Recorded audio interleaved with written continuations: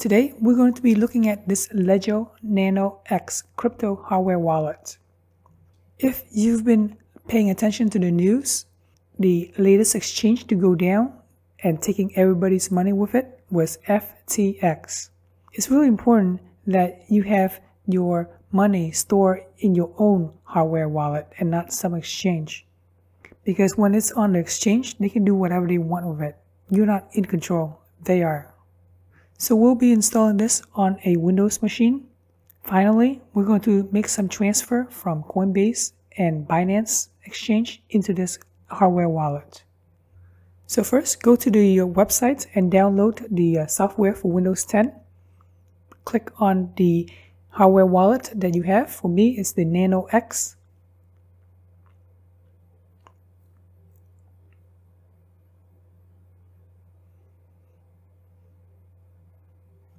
Let's set up a new Nano X. Click on Continue. Click on Continue. Click on Continue. Continue again. Let's do this. It takes about 30 minutes, so make sure that you have at least 30 minutes and click on OK, I'm ready. Now it's a good time to connect your Nano X into the uh, computer. It is USB-C cable. Go ahead and flip the metal casing around and out of the way. As soon as you connect it to your computer, it should be lit up. If it doesn't, go ahead and press either button to wake it up. Click on next step the whole software is pretty straightforward and it actually guides you from A to Z. Click on I understand. Go ahead, set up the pin code.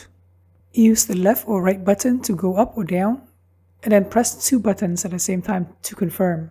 So first create your pin code and then re-enter the pin code again. Check the box that says I understand that you must not lose this recovery phrase or else if you lose it, it's gone. All of your money will be gone. With the recovery phrase, they're going to give you 24 words. Go ahead and write it down. And then next, you have to repeat the same process to confirm that you have all 24 words in the correct order. Whatever you do, you must hide your recovery phrase. Don't take a picture of it. Don't save the file in your computer because if you ever get hacked, then you're going to lose all of your money. Interestingly enough, once you're all done, it's going to give you a mini quiz. And this is a um, refresh on what you've just learned.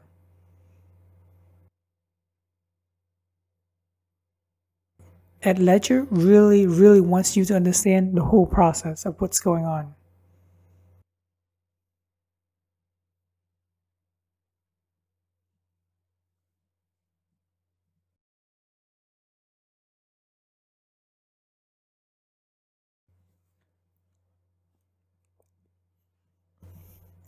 Click on next step. Check my nano.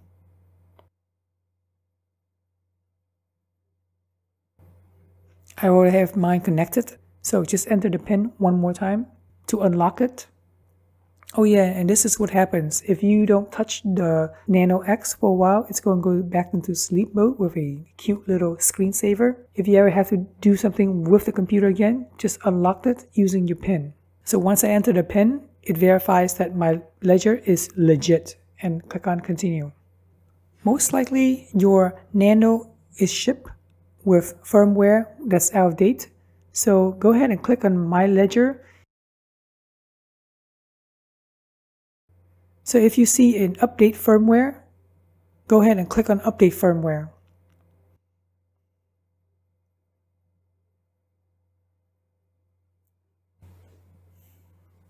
Check the box that says I have my recovery phrase and click on continue. Firmware updating takes about 2 minutes.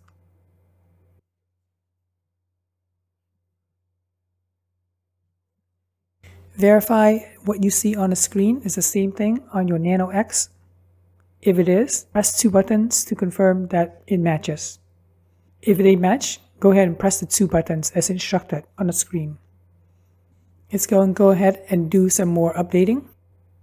If it asks for your PIN, go ahead and enter your PIN in the Nano X.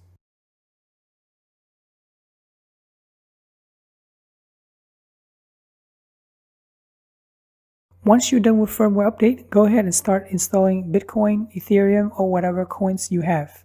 Let's start adding some accounts. So the first thing I did was uh, Bitcoin. Click on the accounts on the left hand side. Add a new account and name it whatever you want. I have mine just in consecutive order from 1, 2, 3, and 4. It's interesting to note that every time you add an account, the Bitcoin has different protocols. There's the native SegWit, Taproot, SegWit, and Legacy. Once you're done setting up the accounts, go ahead and connect your Nano X back into your computer if you haven't already done so. If it asks you for a PIN code, go ahead and enter the PIN code in your Nano X. Here you can see that I'm connecting my ledger back in and entering my PIN.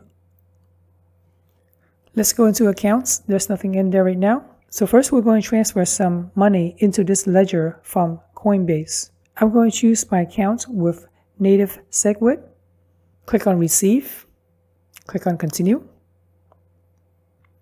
Open the Bitcoin app on your NanoX. It's going to give you the address for this Bitcoin account 1.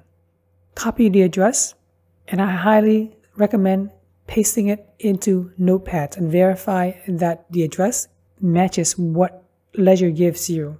Take your time. This is not a race, okay? Because if you send to the wrong address, your money is gone. Verify the address matches on your computer screen as well as on your Nano X. If you want to do one more time, click on verify. I'm actually doing this the first time for you in this video, so that's why I'm verifying the address again and again and again. Once you're ready, click on done. Now let's go to Coinbase.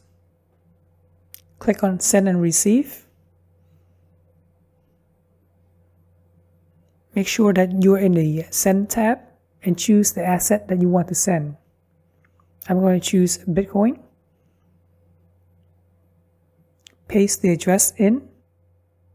If this is your first time, then I highly recommend sending a small amount like $100 to verify that everything is working perfectly. Go ahead and grab your trusty notepad and verify that the address matches one more time. If it looks good, click on continue and the fee is this amount as of December 5th.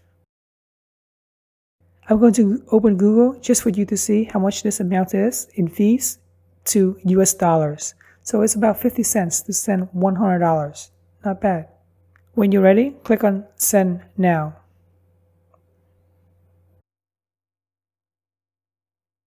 Once you click on send now, it's going to ask you to verify one more time. And I highly recommend that you have a hardware key to verify who you say you are. Or you can always use a Google Authenticator app to verify. Alright, once you confirm that you want to send the money, it will take about less than 30 minutes. For me, it was about 5 minutes or less. Now that you've mastered Bitcoin, let's do Ethereum next. Click on Account, click on Add Ethereum. Click on continue. Open the Ethereum app on your device. Name it whatever you want and then click on add account. Click on done. With Ethereum, there's only one protocol it seems. So if you try to add more accounts, it won't do it because there's only one Ethereum. If you want to add more account into Ethereum, you have to deposit an amount into that first Ethereum, and then you can create a second account for the second Ethereum. So for now, we're stuck with one Ethereum account.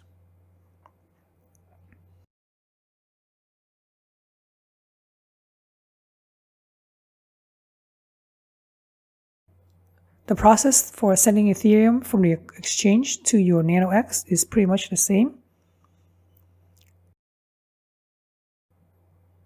When you click on receive, it will give you an address. Copy that address into Notepad and verify. If it looks good in Notepad, go ahead and verify the same thing, the same address in your NanoX.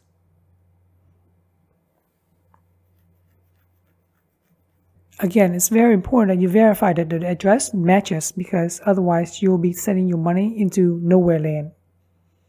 This is my first time transferring Ethereum, so that's why I'm going to verify again and again. Here we are in Coinbase, so I'm going to click on send and receive. We're sending the money from Ethereum straight into my Ledger wallet. So go ahead and choose pay with Ethereum. Send to the address that your ledger gave you, paste it in, verify one more time.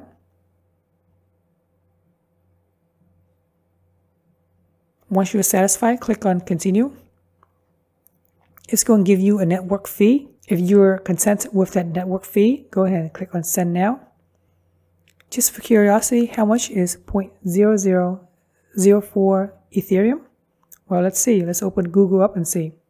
So to send about $5,000, it will cost about 56 cents. Not bad. Click on send now. I have my YubiKey, so I'm going to tap my YubiKey to verify I am who I say I am. Now let's see how long it takes to send 4.3 Ethereum to Ledger. Spoiler alert, it will take less than 5 minutes. Boom, there you go. Less than one minute, actually. You know what's kind of interesting? I noticed that when I was using Coinbase, I was transferring to this ledger via this protocol, native SegWit. But when I was using Binance to transfer into my NanoX, I was using this protocol of SegWit. I'm not sure if it matters or not, but I think it does matter. So whatever you do when you transfer from the exchange to your ledger hardware wallet or whatever wallet you're using, make sure that you're talking with each other on the right protocol, on the same protocol, I should say. Alright, hopefully this helps you feel more comfortable taking control of your Bitcoins, of your Ethereum, of all your crypto coins. Whenever you go to online forums, they'll say you the same thing over and over again. If it's not your keys, then it's not really your money. And in this case, you can see what happened with the people who put all their money on the FTX exchange. I really appreciate you guys subscribing to my channel and thanks for watching.